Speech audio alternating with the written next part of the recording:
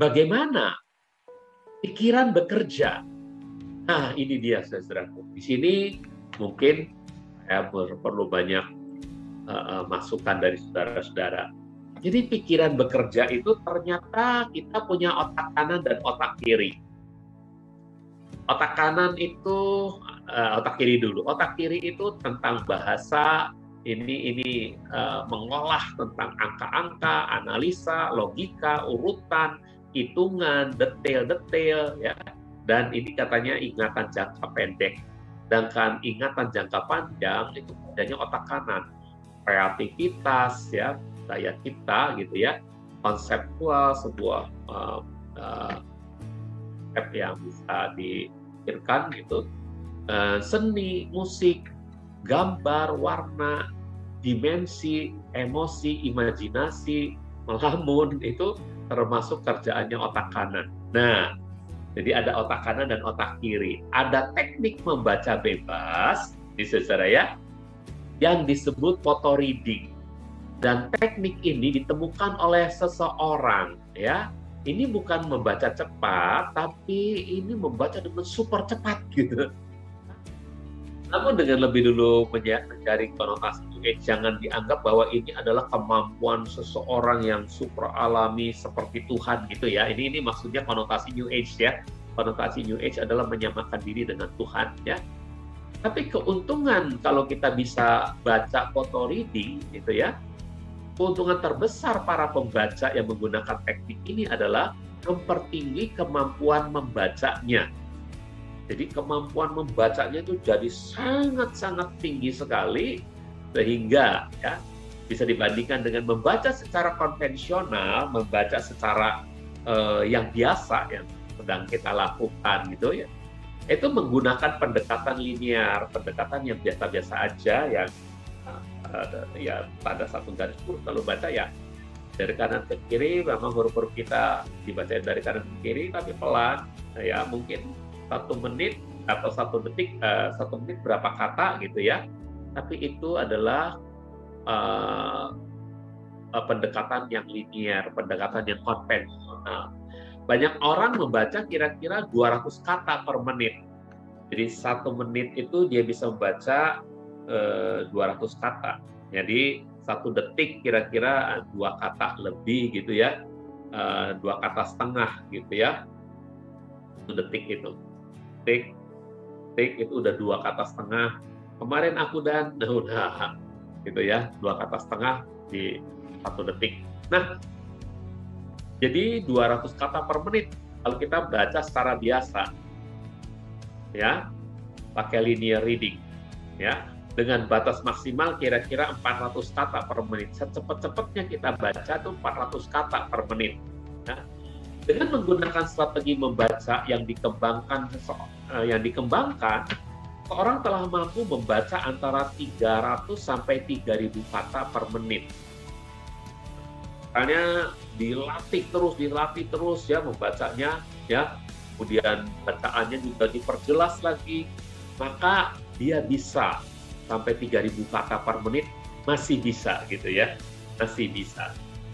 Membaca cepat dapat menerah antara 66 sampai 25 ribu kata per menit. Tapi foto reading lebih mencengangkan, saudara-saudara. Foto reading itu bisa menjangkau hingga lebih dari 20 ribu, eh, 25 ribu kata per menit. Lebih dari 25 ribu kata per menit. Ya, kalau kita cepat kalau yang baca cepat saja, kan bisa sampai 25 ribu kata per menit. Tapi kalau foto reading itu membaca bisa sampai 25.000 kata per menit. Nah, siapa yang menemukan teori reading ini? Itu adalah Paul Schill. Paul Schill, ya, dia yang menemukannya, ya, dia yang uh, mengungkapkan teori ini, ya, membaca auto reading. Nah, apa lanjutannya? Beberapa orang bahkan telah mencapai satu setengah juta kata per menit dengan menggunakan teknik uh, auto reading ini. Bayangkan satu setengah juta kata, ya, dan angka-angkanya dan angka-angka daya ingatnya sering kali mencengangkan.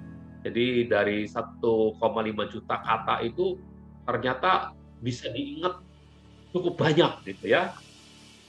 Bayangkan gini, kalau rata-rata buku berisi 65.000 kata, maka teknik ini, teknik photo reading ini cukup mencengangkan. Kenapa?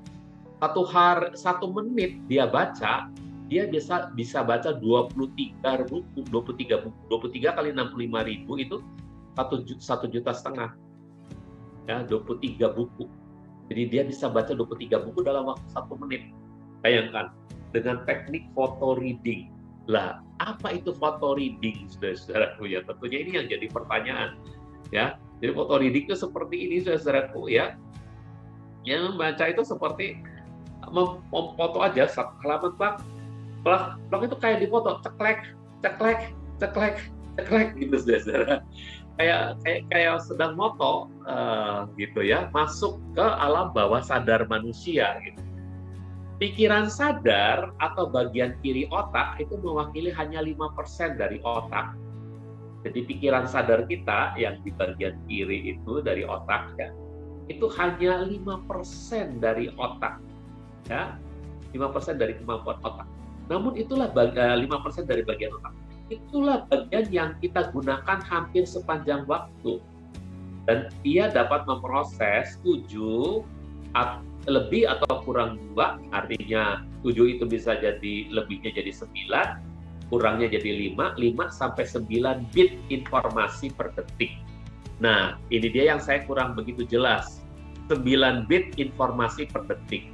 Bit itu adalah uh, ukuran untuk informasi yang uh, diterapkan pada komputer. Jadi kalau bit Eh, per second BPS gitu ya itu uh, kalau saudara kan sekarang kenal ada satu kilobyte gitu ya atau satu megabyte sampai satu gigabyte ya itu bit gitu ya nah ini sudah saudaraku nanti kalau ada yang ngerti tolong jelasin lagi ya.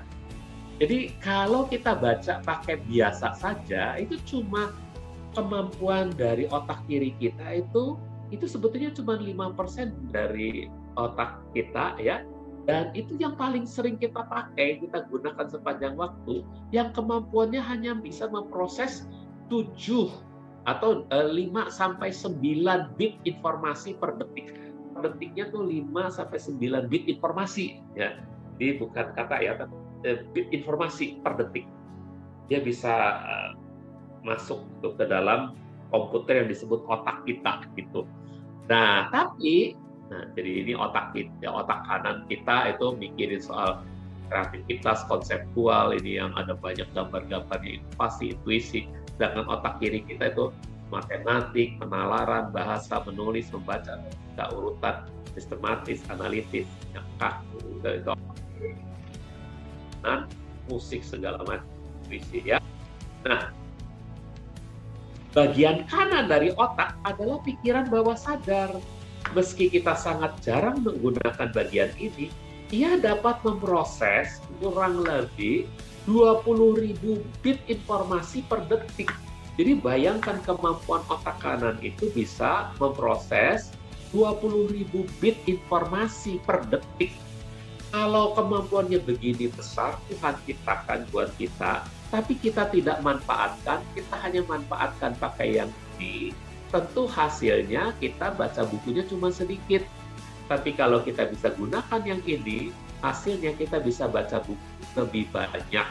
Nah, nah tinggal sekarang antara ukuran bit per detik itu, uh, bit informasi per detik itu dengan kata per uh, detik atau per menit itu gimana nyambungnya? Itu saya nggak ngerti kira-kira hampir sama. Informasi itu juga kata informasi juga ya uh, istilah gitu ya.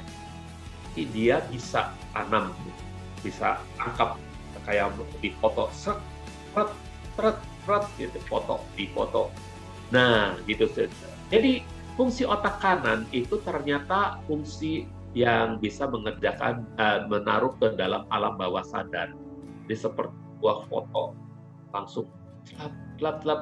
Dan kalau membaca pakai Auto reading itu artinya membuka halaman demi halaman dengan cepat langsung dipoto, diceklek, ceklek, ceklek, ceklek gitu.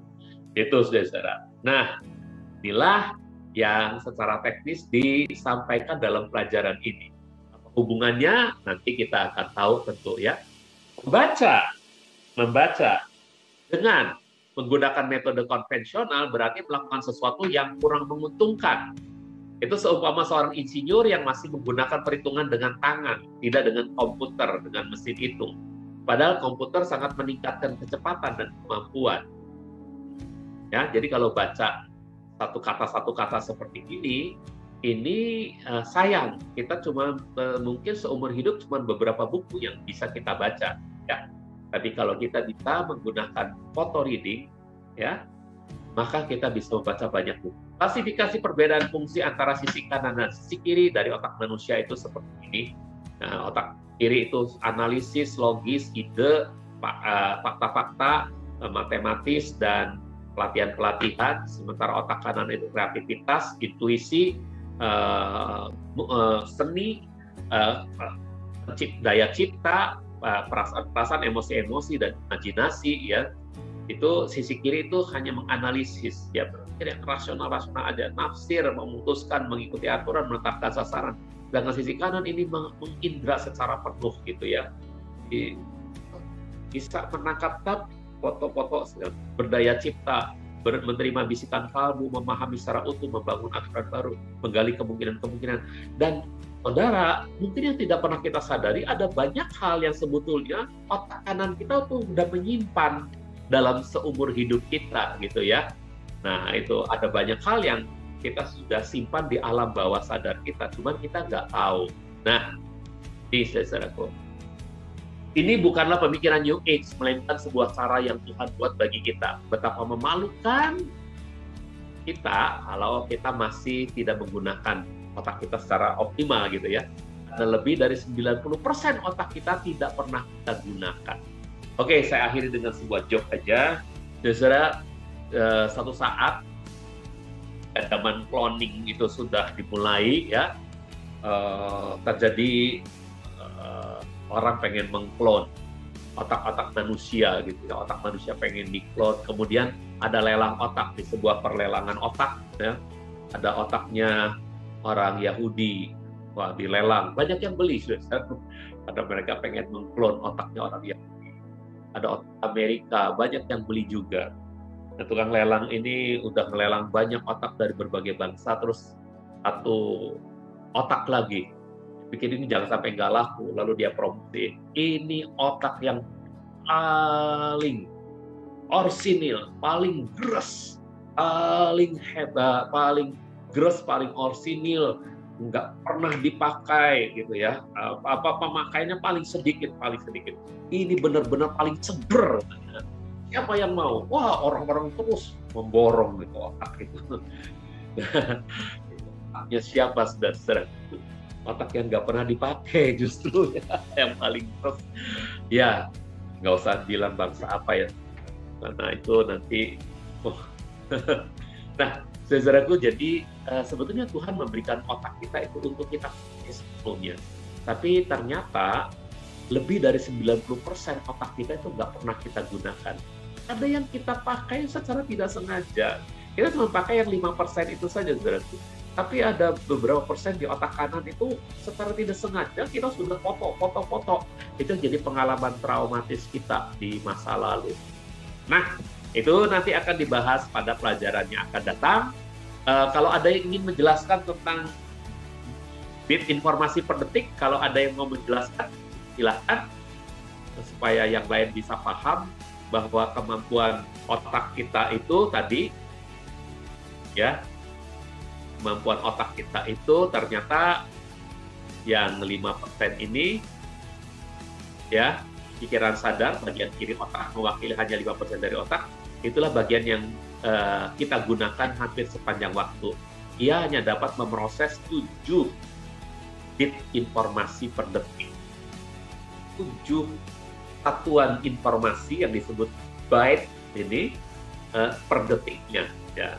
Nah, itu yang saya tahu satu uh, bit informasi itu adalah satuan untuk di komputer gitu ya. Tapi otak juga hitungannya kalau pakai begini gitu ya. Oke, ada yang mau menjelaskan? Kalau ada, silahkan. Kalau nggak ada, kita tutup dulu pertemuan hari ini. Minggu depan kita lanjutkan, mungkin uh, pemberi pelajaran ini akan langsung menyambungkan dengan ayat-ayat firman Tuhan dan bagaimana kesembuhan pikiran itu bisa terjadi. Jadi itu adalah sebuah satuan di mana setiap detik informasi yang bisa direkam oleh otak kita itu cuma 7 bit ya.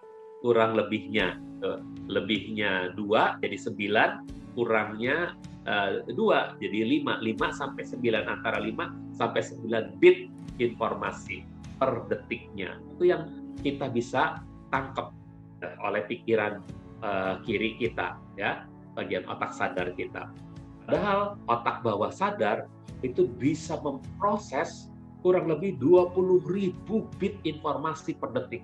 Jadi begitu kita buka, masuk ke alam bawah sadar, klak, klak, klak, klak, klak, kita bisa baca 23 buku dalam semenit, saudara.